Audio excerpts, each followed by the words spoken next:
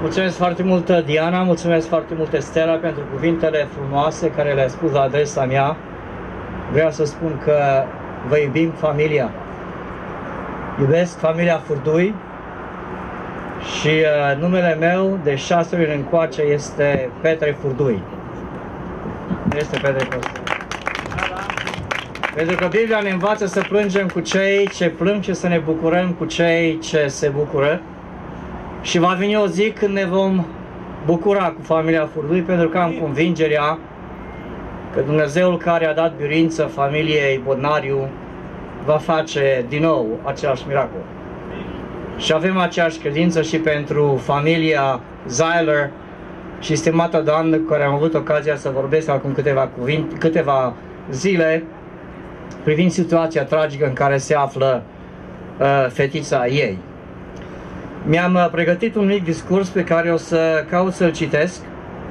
Cei care sunteți interesați să cunoașteți mai multe aspecte privind uh, familia Furdui și uh, o analiză, dacă vreți, din punct de vedere sociologic, din punct de vedere legal al situației familiei, puteți să urmăriți pe pagina mea de Facebook și de asemenea vă rog foarte mult să intrați și pe pagina oficială a familiei Furdui, care este furduifamily.org.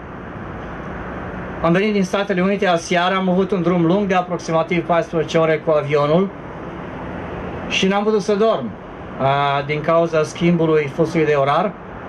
Așa că atunci când nu dorm, fac ceea ce de obicei fac și anume citesc Cuvântul lui Dumnezeu. Și am ajuns uh, anul acesta cu citirea Cuvântului lui Dumnezeu la cartea Eclesiast. Și chiar mă rugam lui Dumnezeu să-mi dea un cuvânt din cartea Eclesiast care să-l port cu mine în anul 2022 pentru familia Furdui.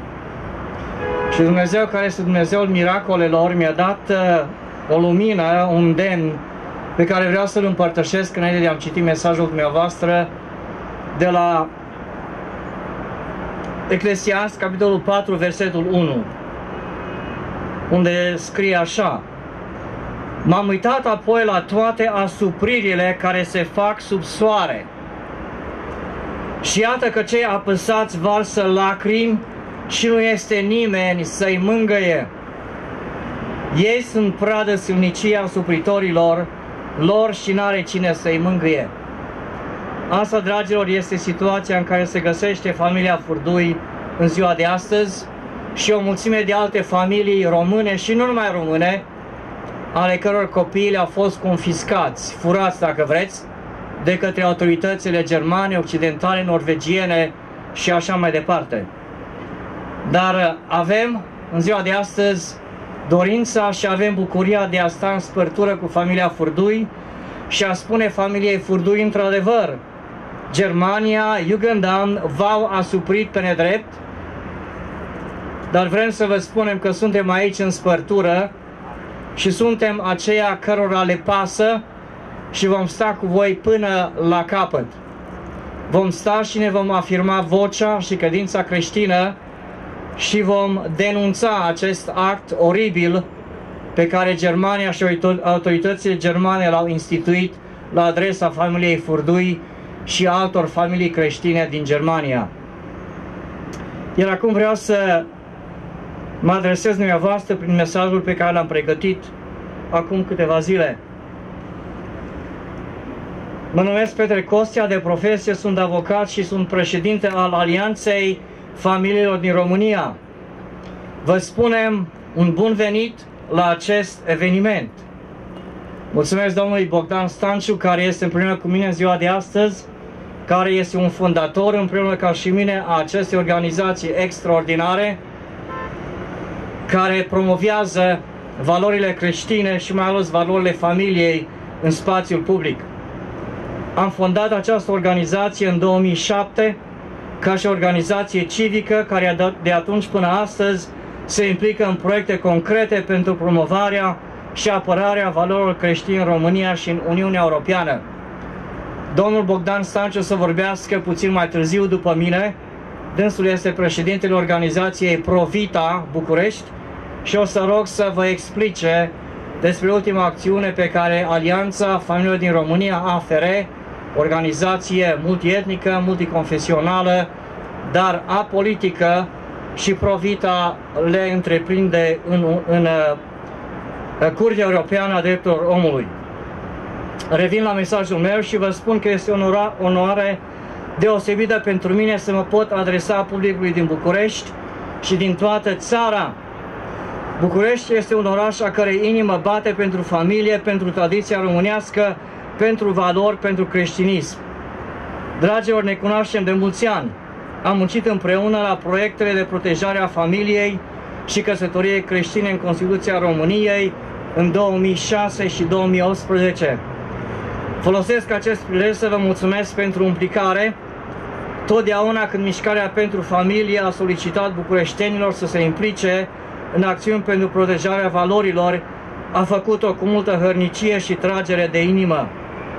Vreau să încep discursul meu cu un adevăr enunțat acum 73 de ani cu o voce unanimă de către întreaga comunitate umană. Articolul 16 din Declarația Universală a Drepturilor Omului, adoptată în noiembrie 1948, afirmă următorul adevăr. Familia constituie elementul natural și fundamental al societății și are dreptul la ocrotire din partea societății și a statului. Dragi parlamentari, îmi îndrept privirea spre clădirea Guvernului României și voi citi din nou aceste cuvinte care au fost adoptate de țările lumii și părinții noștri acum 73 de ani și vă îndemn să fiți cu luare aminte și să faceți exact ceea ce părinții noștri v-au solicitat acum 73 de ani. Vă reamintim și citez. Familia constituie elementul natural și fundamental al societății și are dreptul la o crutire din partea societății și a statului. Vă rugăm, luați aminte!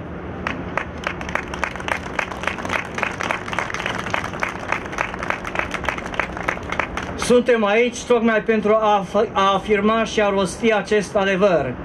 Acum când protestăm împreună acțiunile ilegale ale Germaniei împotriva familiei Furdui. Familia Furdui își cere drepturile. Ați răspuns din nou astăzi solicitării mișcării pro-familie din România pentru promovarea intereselor supreme ale familiei. Ați dat curs solicitării familiei Furdui de a vă face contribuția la, la reîntregirea familiei prin revenirea în sânul familiei a celor șapte copii luați de autoritățile germane în mod abuziv pe 26 aprilie. Vă felicităm pentru că vă exercitați drepturile creștinești și cetățenești pentru un scop atât de nobil și o cauză atât de dreaptă, dar mai ales pentru că în spirit creștin ați ales să plângeți cu cei ce plâng. Avem însă încrederea că ne vom și bucura tot împreună cu familia Furdui, știind și având convingerea că familia va fi reîntregită curând.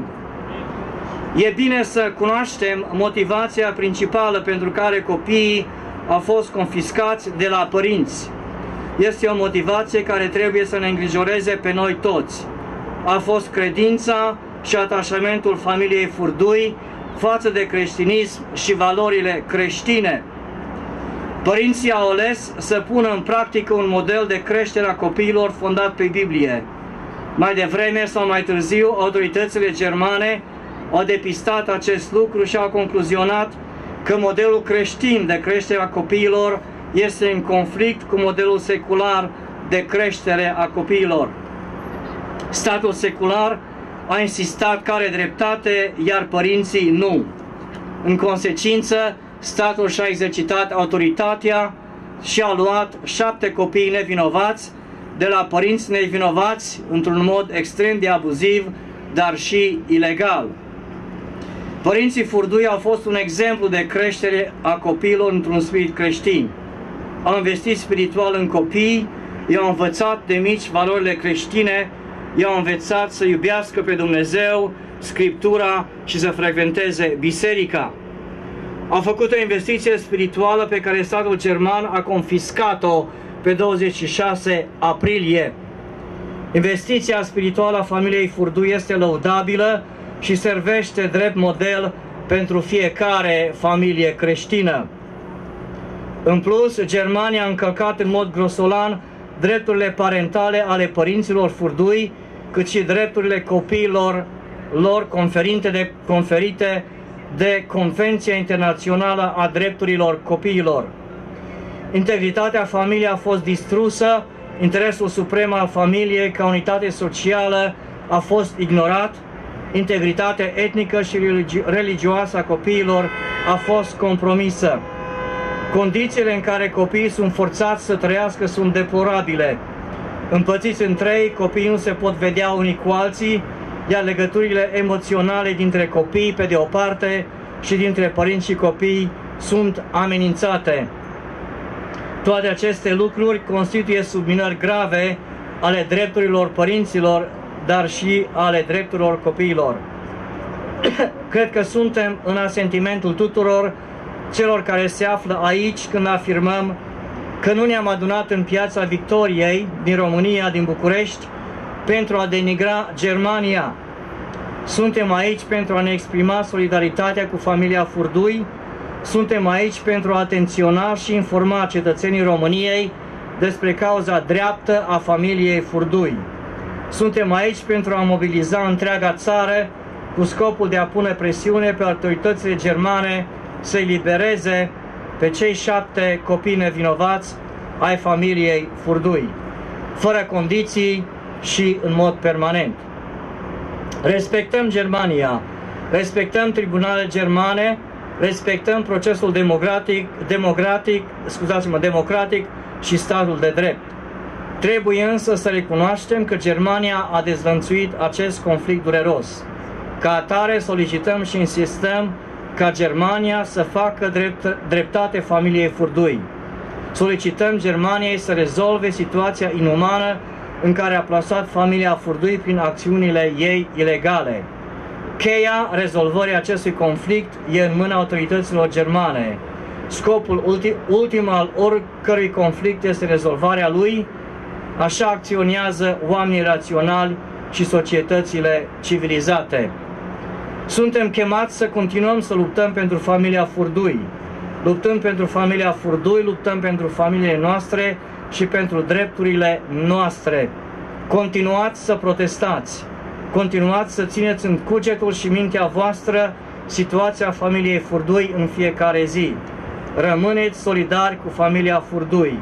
Demarați acțiuni practice desemnate să atenționeze Germania că nu ne vom întoarce la casele noastre și nu vom înceta să cerem eliberarea copiilor până în momentul în care ei vor fi reintegrați familiei.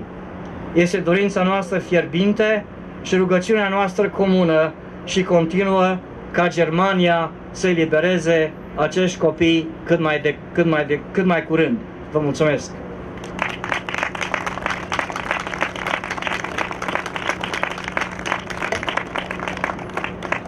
Vreau să o invit pe colega mea din București, pe doamna Emanuela Costache, să vină în față să citească o rezoluție. Este, este un obicei uh, bun și un protocol bun la întâlnirile publice când cei care se adună în spațiul public pentru un anumit uh, obiectiv comun să adreseze autorităților o rezoluție pe care am scris-o eu în limba engleză, o vom citi și în limba engleză, va fi înmânată Mâine, scuzați-mă, luni, Germaniei, ambasadei Germaniei din București, atât versiunea în limba română cât și versiunea în limba engleză. Și după ce Emanuela va citi această rezoluție în limba română, o să vă solicităm prin ridicare de mână și voce să adoptați această rezoluție ca să o putem înainta autorităților germane în București și de asemenea în Germania și voi face și eu la fel la consulatul german din Houston, Texas, unde locuiesc. Emanuela, te rog să vii în față.